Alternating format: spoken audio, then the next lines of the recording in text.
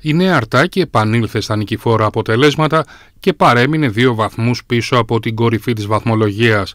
Στο τρίτο λεπτό, Σπηλιώτης πάσαρε στο Μερτήρι που άνοιξε το κοντρόλ και ο Φιρινίδης βγήκε και μάζεψε. Δύο λεπτά αργότερα η απευθείας εκτέλεση κόρνερ του Ντελέκου σταμάτησε στην εξωτερική πλευρά του δοκαριού. Στο 14 το σου του Παπαδάκη δεν βρήκε στόχο και στο 23 οι φιλοξενούμενοι απείλησαν την αιστεία του Διαμαντή με το σου του Μαργαρίτη. Νέο σούτ από τον Παπαδάκη στο 24 πέρασε εκτός εστίας για να φτάσουμε στο 40 λεπτό με τον Τελέκο να εκτελεί κόρνερ, το σούτ του Παπαδάκη κόντραρε και κατέληξε σε νέο κόρνερ. Ο Ντελέκος ξανά ο εκτελεστής με το Στασινόπουλο να νικάει αμυντικούς και τερματοφύλακα με κεφαλιά και να στέλνει την μπάλα στα δίχτυα 1-0 για τους ερυθροκίτρινους στο 41. Τρία λεπτά αργότερα ο Σαμανίδης έκοψε το επικίνδυνο γύρισμα του Ντελέκου.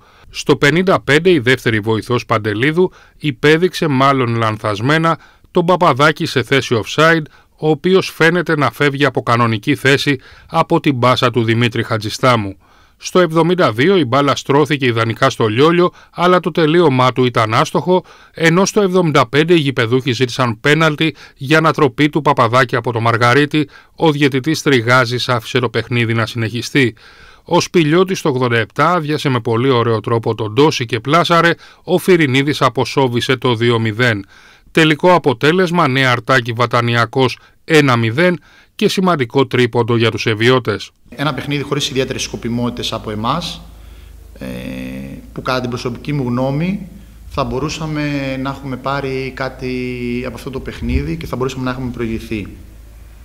Δυστυχώς σε μια φάση την οποία ε, μακάρι να μην έχει χτυπήσει ο Δερμίσης, να μην έχει κάτι πολύ σοβαρό, ε, μια μικρή αδράνεια σε ένα κόρνερ μας τύχησε και βρεθήκαμε πίσω στο σκορ.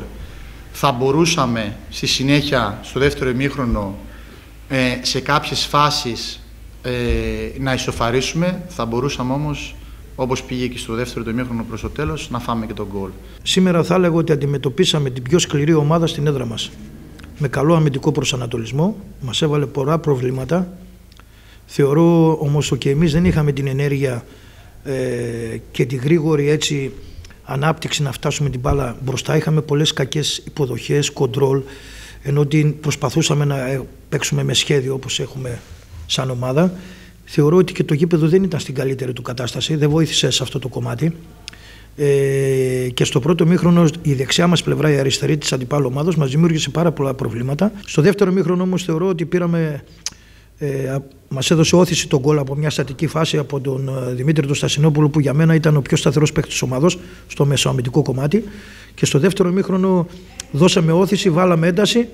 Πιστεύω δεν είχε ευκαιρίες ο αντίπαλος και μετά το 70 με γρήγορες αντεπιθέσεις, θα έλεγα, μεταβάσεις, μπορούσαμε να, να βάλουμε να, να κλειδώσουμε το παιχνίδι. Ήταν και να γίνει πιο άνετο στο τελευταίο δεκάλεπτο